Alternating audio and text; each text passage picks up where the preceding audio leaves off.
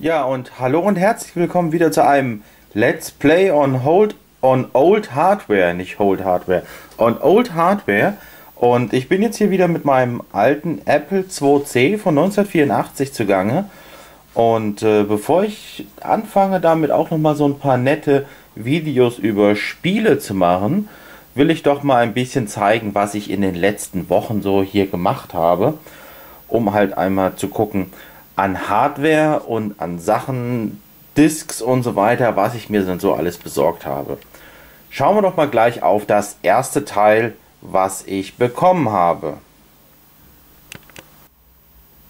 Und dazu schauen wir gleich mal halt hinter den Apple IIc, dort wo die Anschlusssachen sind. Zum einen habe ich mir ein ordentliches Kabel, mal ein ordentliches Kinchkabel geholt, um den grünen Bildschirm anzuschließen. Einfach damit halt das Signal ein bisschen besser an den grünen Bildschirm kommt. Hat aber nicht so wirklich viel Auswirkungen gehabt. Das Bild bleibt weiterhin ganz normal grün. Zwischenzeitlich habe ich gedacht, ich kann das Kabel auch nehmen, um an den Fernseher anzuschließen. Nur um dann festzustellen, am Fernseher kommt ein Schwarz-Weiß-Bild an, wie ich es mir schon fast gedacht habe. Nach dieser Erkenntnis blieb mir nichts anderes übrig, als zu gucken mal im Internet, was gibt es denn für tolle, interessante Sachen, damit ich auch mal Farbe aus dem eigentlich farbfähigen Computer zu kriegen. Und bin da aufmerksam geworden hier auf dieses Gerät, einen Apple IIc VGA Adapter. Der hat entsprechend an der einen Seite hier einen VGA-Anschluss. Da steckt auch schon der VGA-Bildschirm drin und nebendran halt auch nochmal einen Kompositenanschluss, der ein farbfähiges Kompositsignal ausgeben kann, für den Fall, dass man da dann doch mal einen Fernseher wieder anschließen will.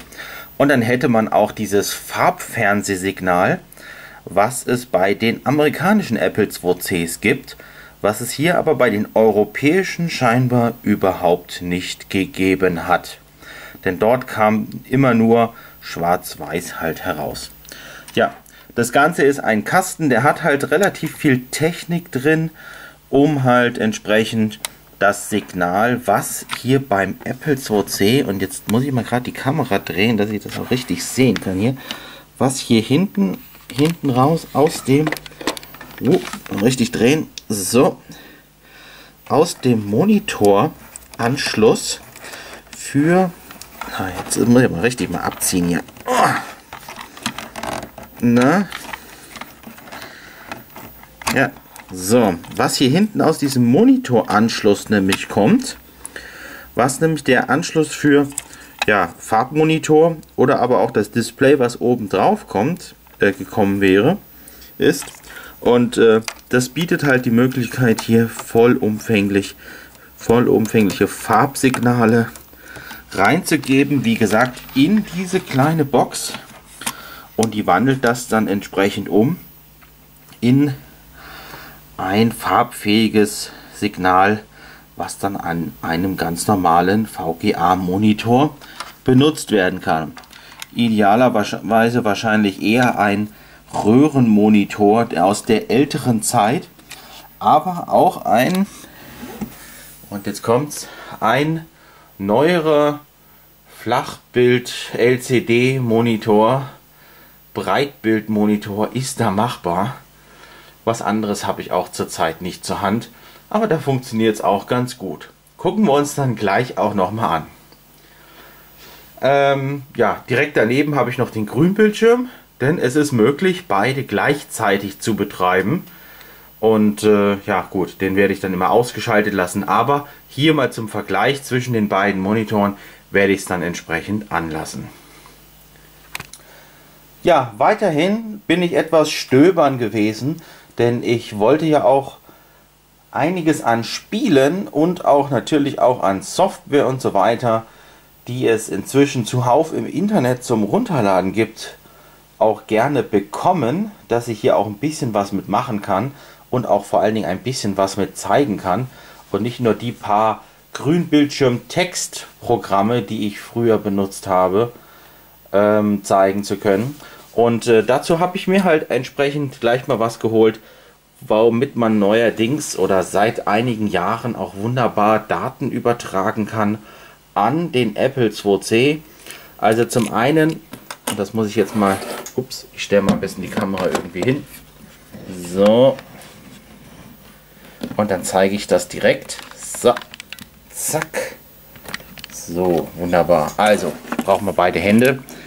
Ich habe hier zum einen einen ganz normalen USB auf Comport Adapter, damit ich an einem Laptop oder an einem neueren PC, die ja keine Comports mehr haben, anders als die Geräte noch in den 90er Zeiten, ähm, dass ich dort einen Comport mir erzeuge.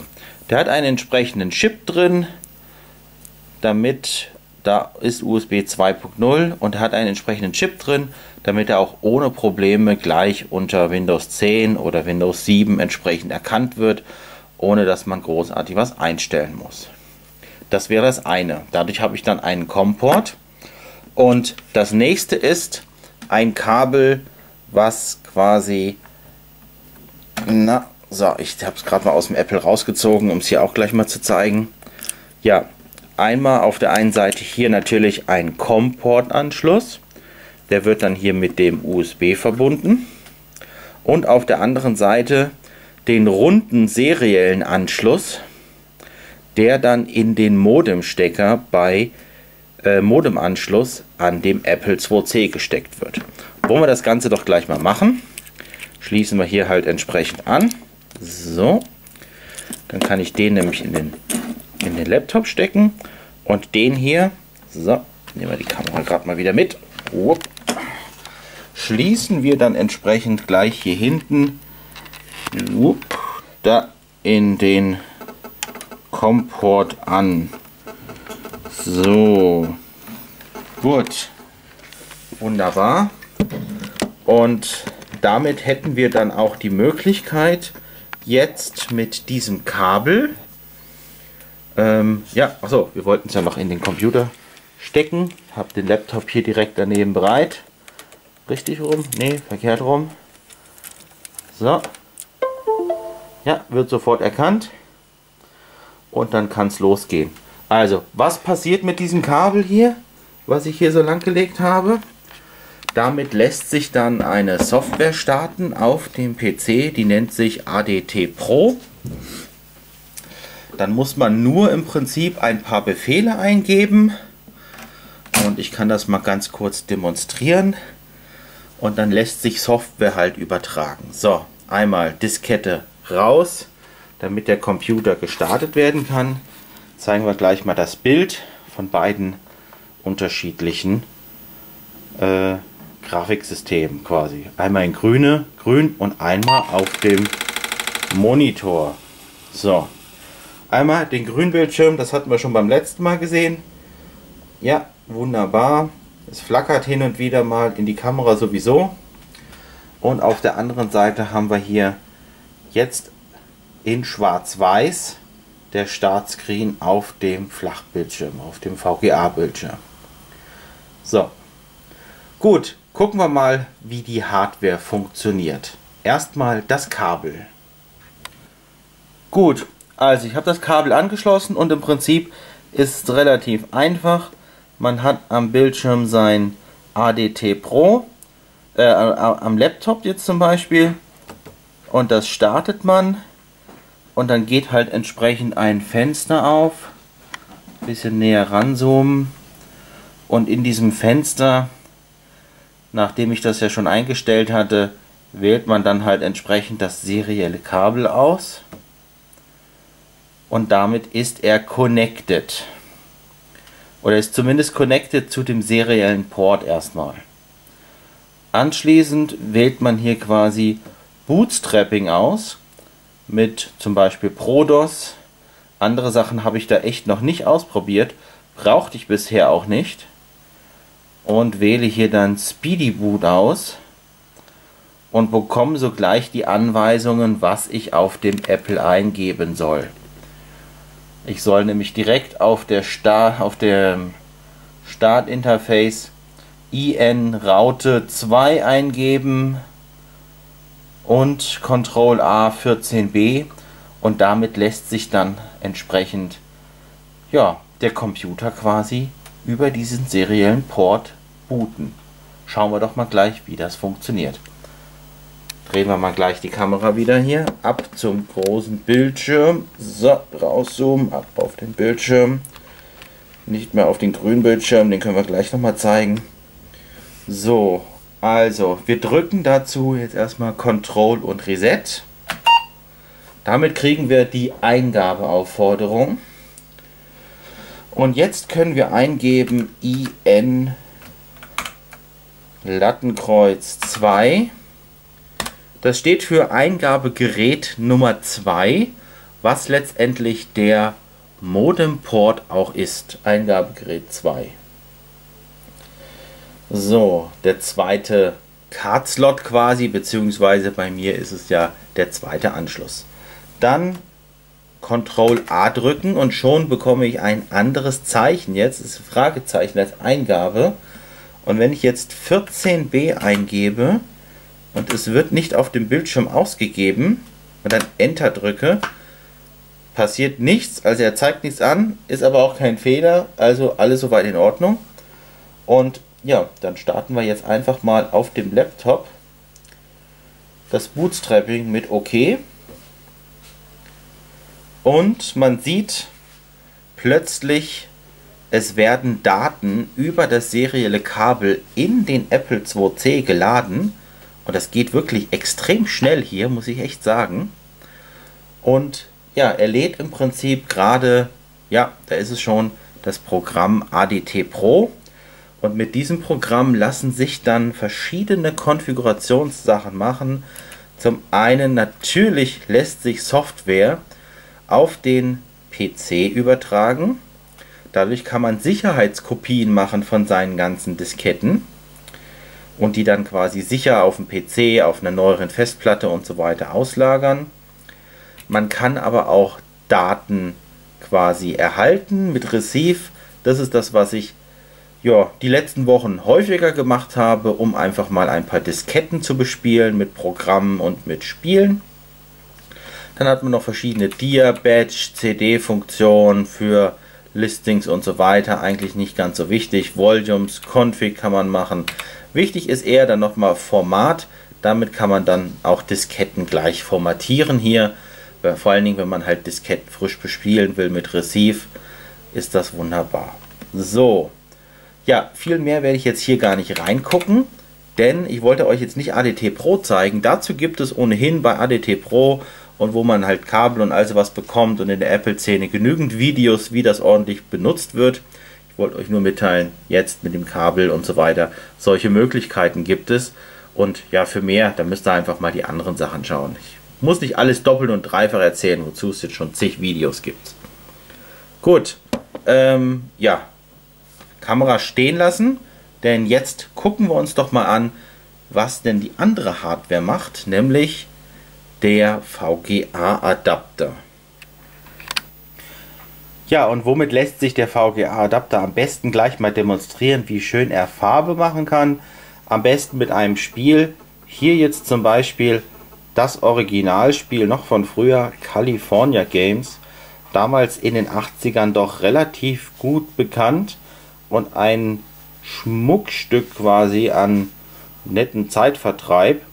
Ja, und äh, ja, die sind zumindest durch die Welt gegangen. Also ich habe da auch Summer Games 1 und 2 und so weiter gehabt. Das waren quasi so die Hauptspiele damals zu der Zeit. Und neben dem anderen, was quasi alles so für denjenigen, der halt nicht so richtig Bescheid wusste, eben dann eher im Unbekannten blieb. So, ich habe die Diskette reingelegt und jetzt wollen wir mal gucken, wie die Farbe aussieht. Schalten wir ihn ein. Und man sieht, beide booten sie, also beide Bildschirme zeigen halt die Daten an. Und äh, ja, muss er jetzt langsam mal das Spiel laden. Braucht halt eine Weile hier beim Apple. Aber geht eigentlich relativ schnell. Es sind ja immerhin auch nur 140 Kilobyte auf so einer Diskette. Und da kommt es schon. So, und da sieht man den krassen Unterschied. Wenn man mal guckt. Der Grünbildschirm, wo die unterschiedlichen Farben durch verschiedene Schraffierungen gemacht worden sind. Und wenn wir uns jetzt mal den Farbbildschirm anschauen, über den Adapter sieht man genau die Farben. Blau, Orange, Weinrot, Gelb, ja, und Weiß und Schwarz. Hm? Fehlt eigentlich nur noch Grün. Ja, und ein Grünstreifen ist an der Seite auch noch dran. Und damit habe ich 1, 2, 3, 4, 5, 6, 6. Ja, alle bunten sechs Farben plus Weiß und Schwarz sind es im Prinzip acht Farben, die er haben kann. Sehr schön, sage ich nur. Gut, das soweit jetzt alles hier von dem kleinen Überblick zur Hardware. Vielleicht gibt es demnächst nochmal einen neuen Überblick, denn eine Sache ist mir jetzt schon aufgefallen. Ich habe keinen Joystick und äh, der Joystick-Port, wenn ich jetzt mal hier den Mausport nehme, Joystick kommt ja in diesen gleichen Port rein, diesen DIN 9, 9-poligen DIN-Adapter. Nur dieser hier ist genau andersrum wie diese Amiga Joysticks oder C64 Joysticks und dementsprechend etwas besonders. Leider gibt es bei eBay auch scheinbar nicht wirklich irgendwelche Joysticks zu kaufen und wenn, glaube ich, zu irgendwie horrenden Preisen. Mal gucken. Ich habe so einen Adapter gefunden, bin mal gespannt, ob ich mir den wirklich holen will, weil einige Sachen hier, gerade bei einigen Spielen, ist es schon sehr sinnvoll, sich einen Joystick zuzulegen. Und ich will doch ein bisschen Spaß haben, auch mit dem Apple IIc und nicht alles nur mit der Tastatur machen. Also, soweit also zum Apple IIc. Und äh, ja, dann sehen wir uns wieder, wenn es demnächst weitergeht mit Let's Play on Old Hardware. Vielleicht dann auch mal mit dem allerersten Spiel, was ich vorstelle. Bis zum nächsten Mal, sagt der Captain.